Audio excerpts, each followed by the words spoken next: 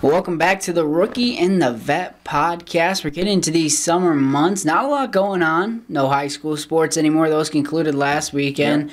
But Illinois football around the corner, sort of. We're in the month of June. Um, hopefully, um, we see more from them go- going through the summer months, heading into September. Well, Bret Bielema apparently had a very big recruiting Yeah. 48 hours here recently. Uh, nine new recruits coming in. Um, the man's doing work, it seems like. And, you know, he's continuing to do his thing, building more of this recruiting pipeline in the state of Illinois and kind of spreading out from there. Um, but, I mean, gonna have a lot of depth, it seems like. Yeah. Um, and especially with some of those vacated positions that we had with the NFL draft, especially in that defensive secondary. Um, we'll see what the defense is going to offer up this year, but you got a lot to choose from. It seems like some very good talent's been coming in. Um, and I mean, the question is, how are they going to do this year? Yeah, and adding on to that, you know, big part of those, you know, those big name, big name in quotes, recruits coming in is having that winning culture finally. I mean, it's been years since Illinois has been in a bowl game. I think it was 2019 was the last time. Before this year, they were in a bowl game, and before that, maybe like 2016, maybe. So there's not many years where they have a winning record. So him being able to establish that this past year, it all, it only does you wonders in recruiting. Yeah. But, and so it seems like this new uh, recruit that he actually picked up out of, I think it was Ohio, uh, defensive line guy, is putting his own recruiting cap on and saying, come to Illinois now. Like, stop waiting and, like, just get on this train. And, I mean, good on that young man, too. Um, because yeah that's what you want is you want players that you have that chemistry with you can build kind of a family which is the big thing with illinois um, but i mean if he can bring more talent with him over here i'm all for that and that's what happens um, with a lot of players. You see it more in basketball because of AAU circuits, but where people start bringing in friends they know that are also high recruits and people they've met along the way, and like let's team up and let's go uh, play college ball together. yeah Um, so hopefully, hopefully it does good things for Illinois.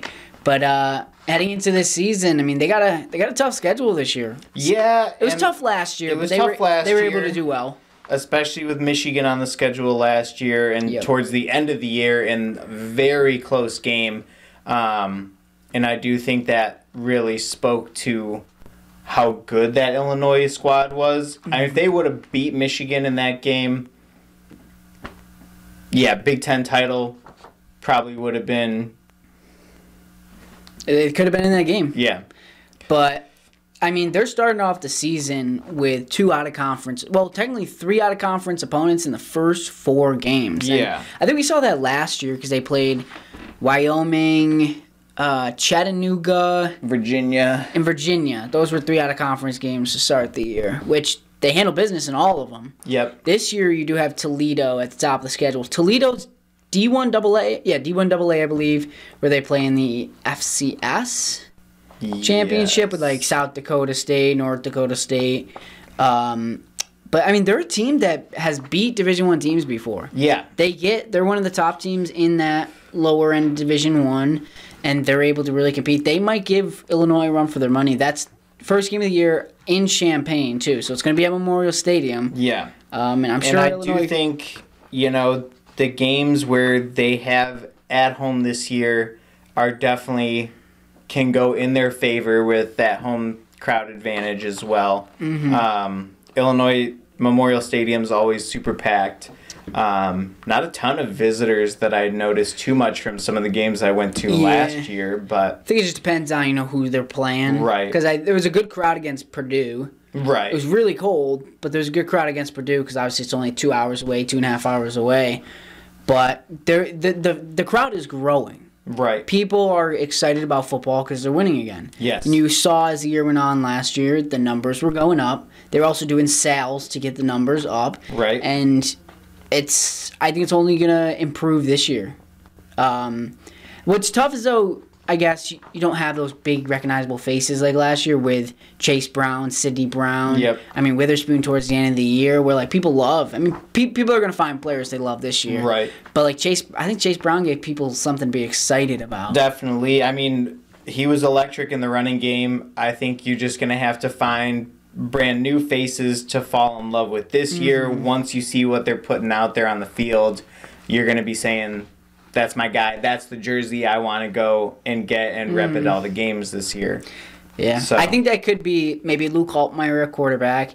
Maybe it's tough for D linemen to kind of be that face, but you have uh, Johnny Newton, Keith Randolph on that defensive line, uh, Matthew Bailey in the secondary, an Illinois native. Um, but yeah, pe- pe- people find a find their guy and hopefully bring in more people in the crowd. And Johnny Newton seems to kind of feel a little bit snubbed on Yes, his rankings right now because what he was ranked like number one in the Big Ten or something, but then like nationally he's at like number 11 Mm-hmm. in his position, but Yeah, I mean he could, he could be a first round pick this year. That's Yeah. where a lot of uh, mock drafts have him. But I saw he was also adding on to that.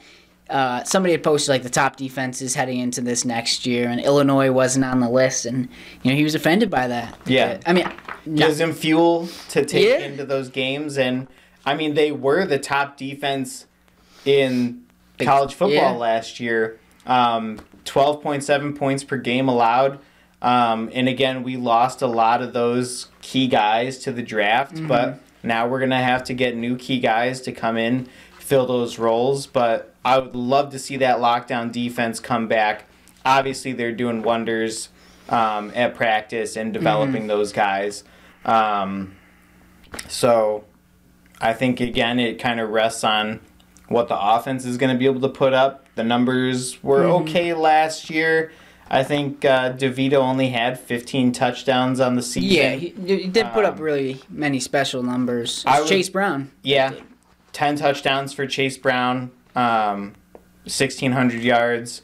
So, got to fill that running back spot. New quarterback. Would love to see, you know, a good air raid offense. I and I, I think it's going to be there's going to be much more emphasis on the pass game this year compared to last year. Okay. That's what I'm excited about. Why do you say that? because Luke Altmyer's at quarterback. Okay. I also I would also say because Chase Brown's not a running back. True. They do have Reggie Love. They have, um, I'm blanking on their other running back, but it's going to be a big committee this year. But it's Yeah. a good committee. I mean, Reggie Love can easily be the number one, but I think they have a good running back group where they're able to kind of rely on multiple guys. And I just think.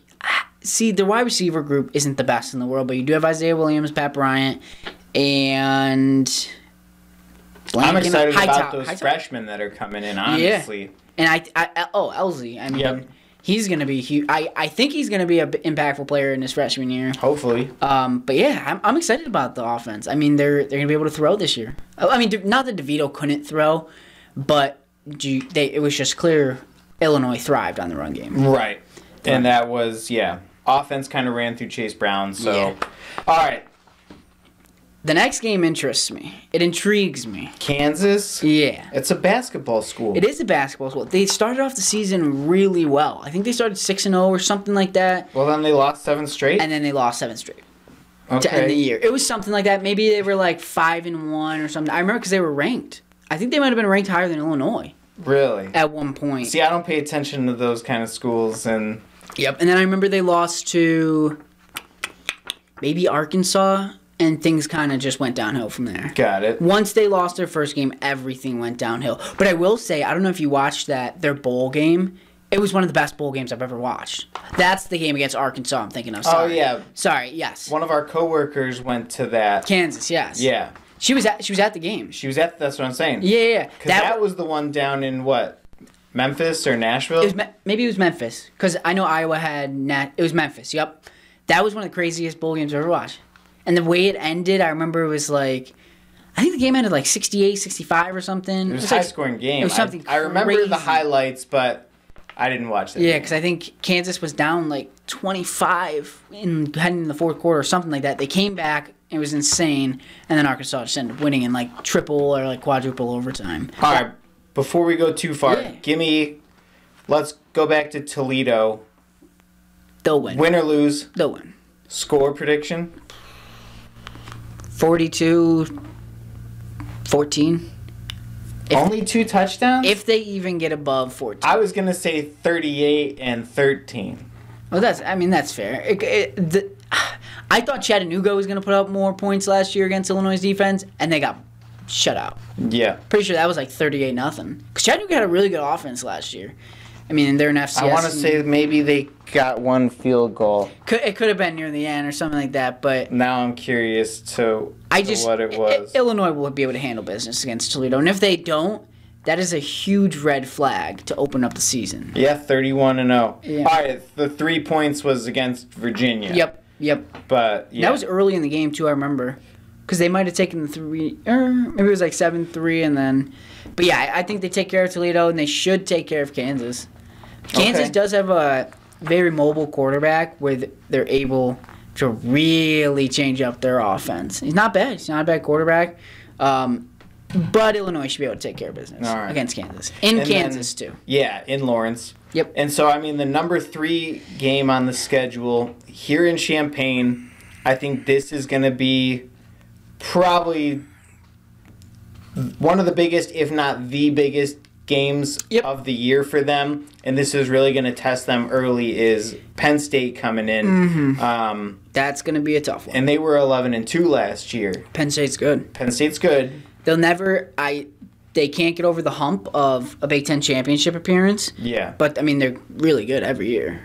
Their offense is great. They're, well, I've never. I, I've not been a fan of their quarterbacks for like the last like five years. Right. But their offense has been solid. They've produced really good wide receivers. Their defense has been really good. They almost beat Ohio State. They gave Ohio State a run for their money, but weren't able to do it. Penn State's gonna be good. That's gonna be their. That's gonna be their toughest matchup.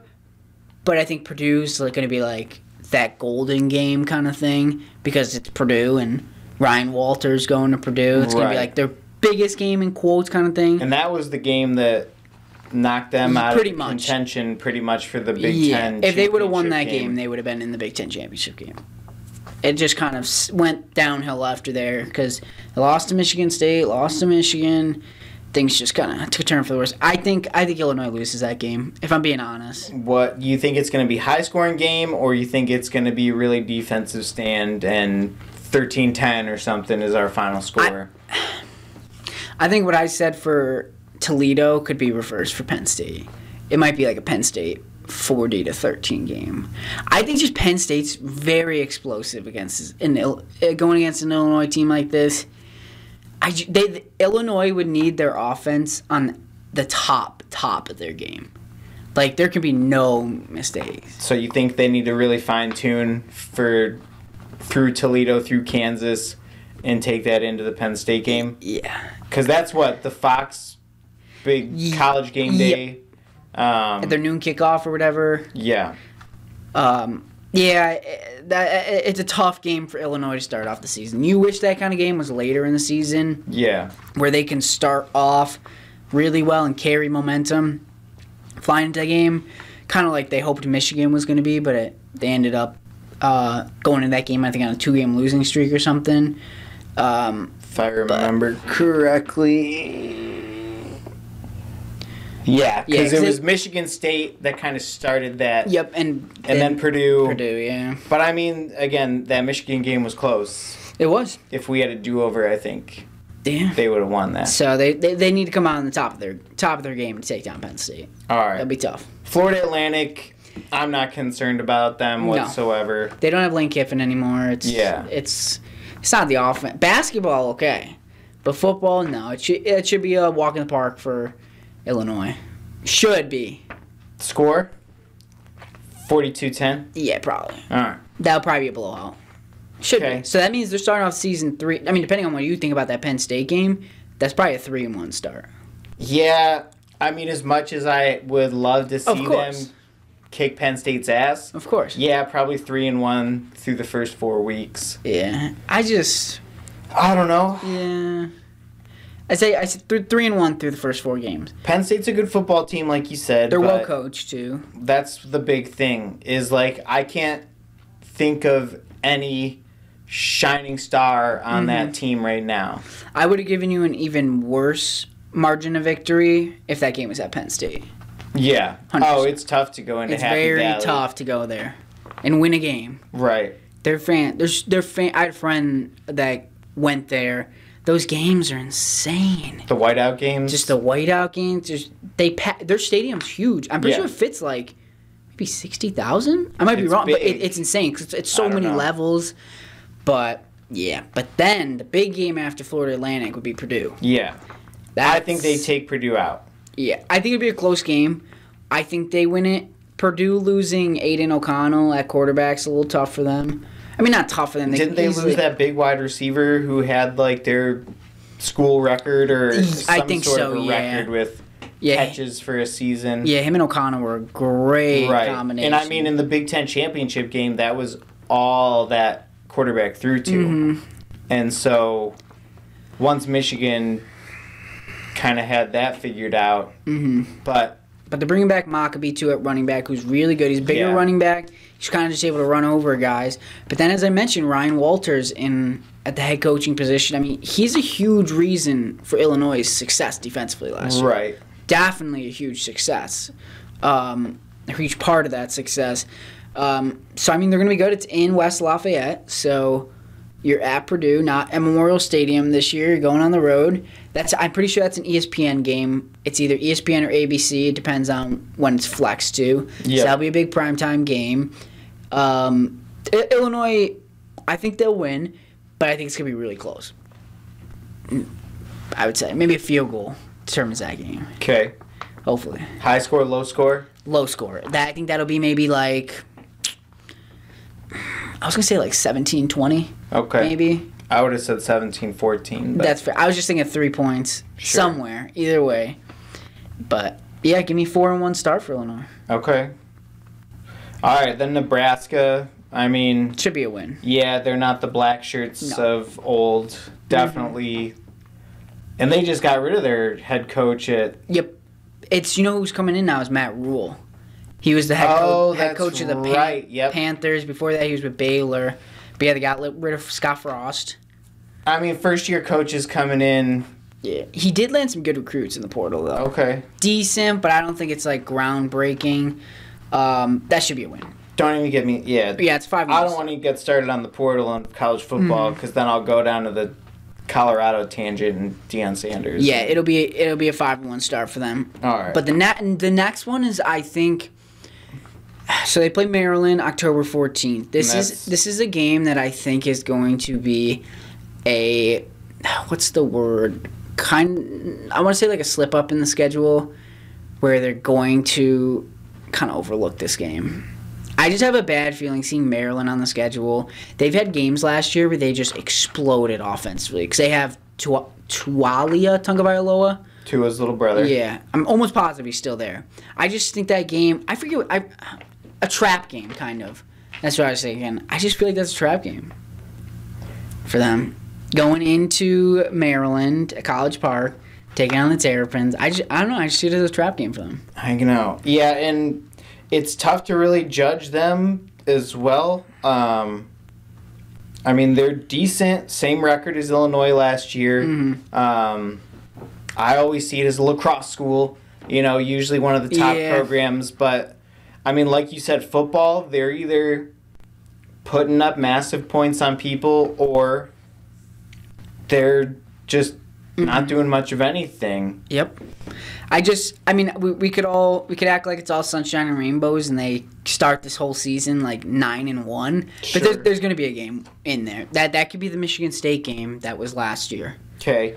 Um, so for me, I start them off at five and two after that Maryland game. I don't know if you're taking them to win, um, but I would take them to fall in that one. Okay.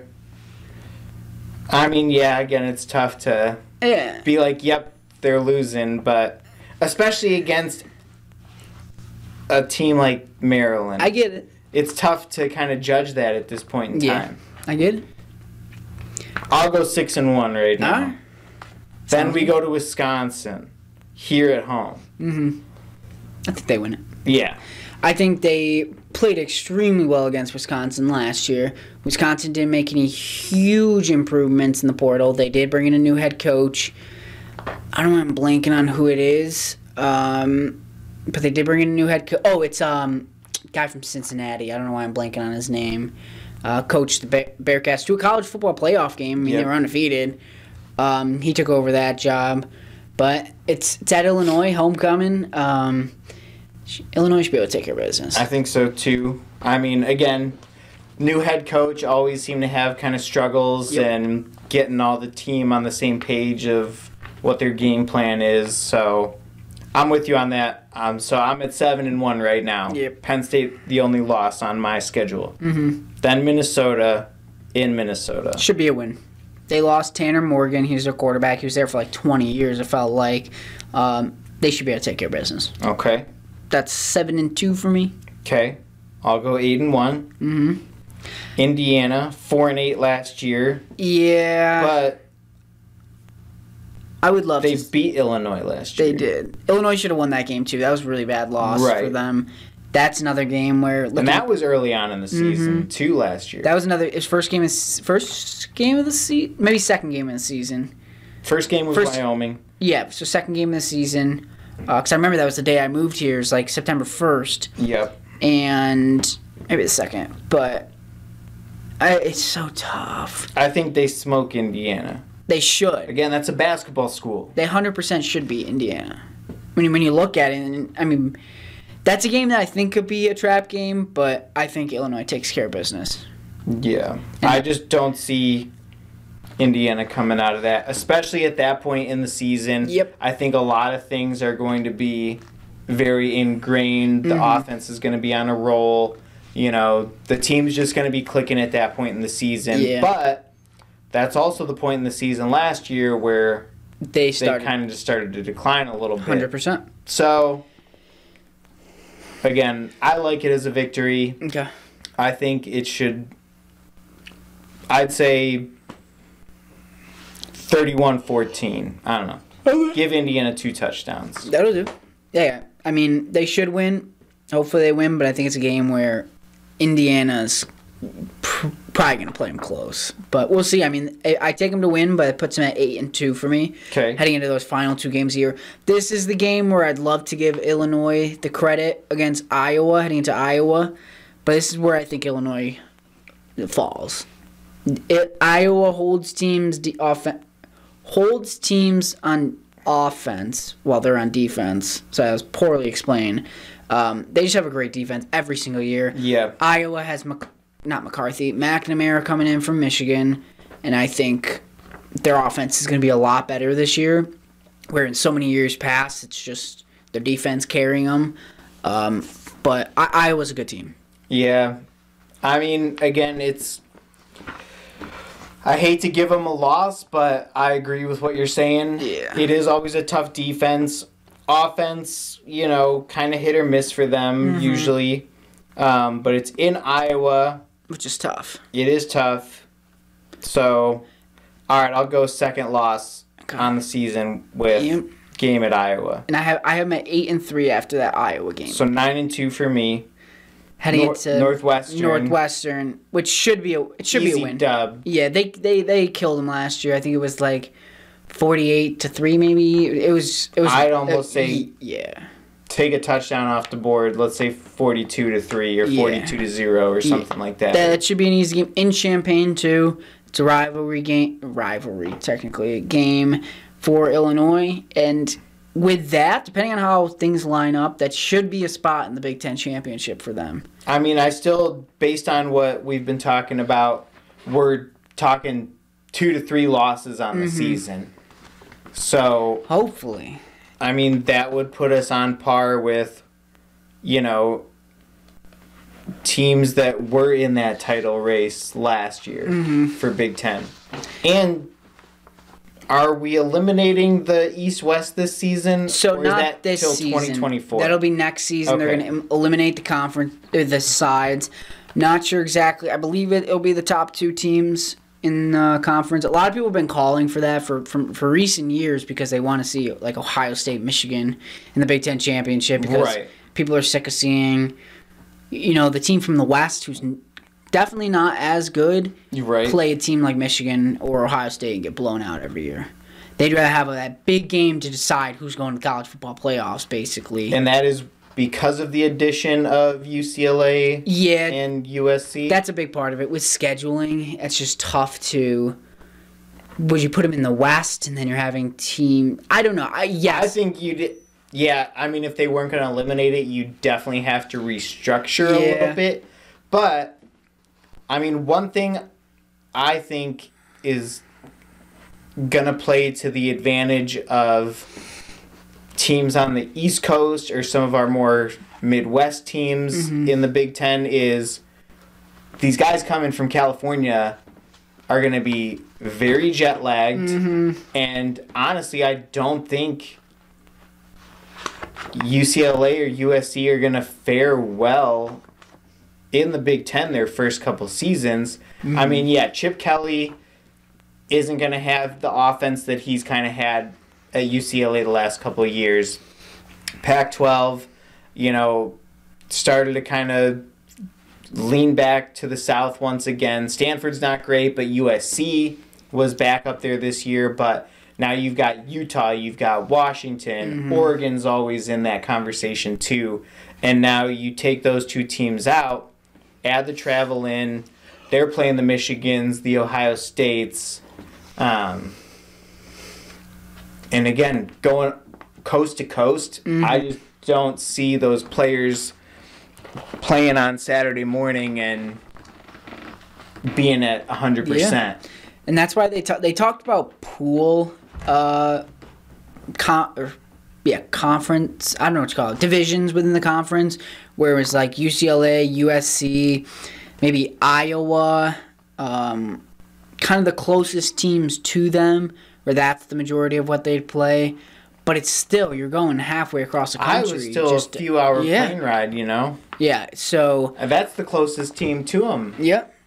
But they ended up deciding on basically just eliminating the conferences Actually, I take or the, divisions. Nebraska would be Nebraska. the closest team, but and then Wisconsin, but still, f- still far away. yeah.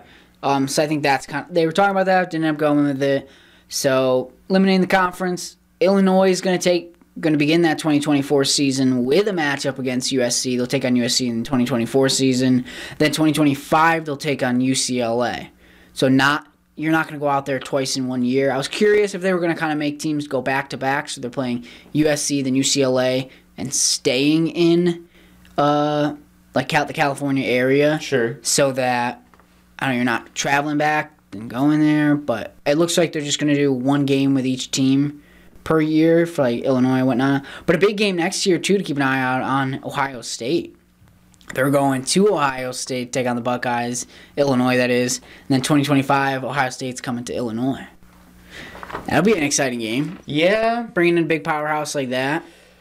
and you hate to think about what's going to happen or where they're going to be at if it's going to be an embarrassment or what Illinois is going to look like at that point mm-hmm. in time. I mean, we're talking two years away. Well, next year, well, yeah, technically two years away. Yeah. So- yeah.